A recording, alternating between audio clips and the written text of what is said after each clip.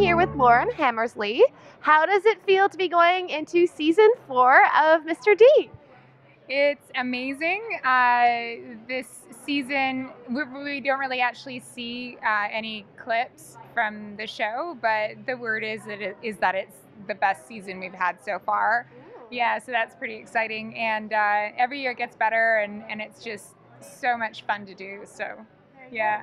And your character, Lisa, always seems to be I don't know. I don't want to say getting bullied, but I always feel so bad. Like, what's it like playing her? I, I, think it's hilarious. I think yeah. the more people hate Lisa, it, it, makes her character funny to me, anyway. You know, yeah, it's yeah. it sort of um, makes that it makes that uh, nice character comedic by being so mean to her or uh, hating her. I, I love it.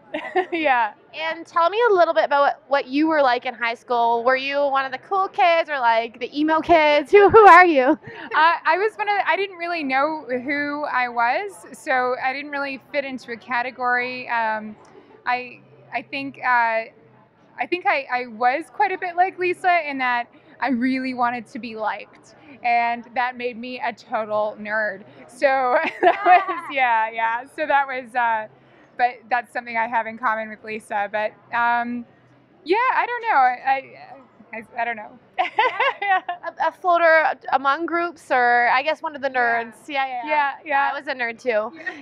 and how does it feel for you to see the show having ten CSA nominations this year? It's incredible. Like it, it makes me giddy and uh, uh, Naomi and I are both up for uh, Best Supporting Actress in, in a, a, comedic series, and, and it's it's just an honor. And it's crazy. So, yeah. do you guys chirp each other? Is there some is there competition going on between you now? Not, no. I don't know about on her. Is there competition between us?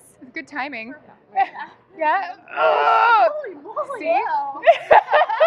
there isn't anymore. Yeah did hug me really hard when you when we found out we were nominated, and I was like, "This is the start of the cat fight." I will own you.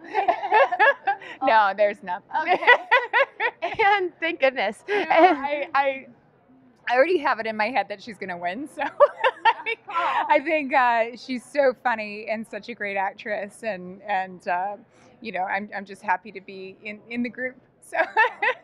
And where's the best place for us to follow you and your exciting career online?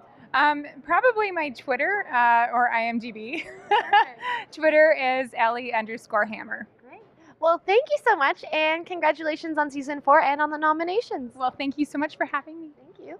I'm Katie Uhlmann reporting for Katie Chats at the season four launch of Mr. D in Toronto.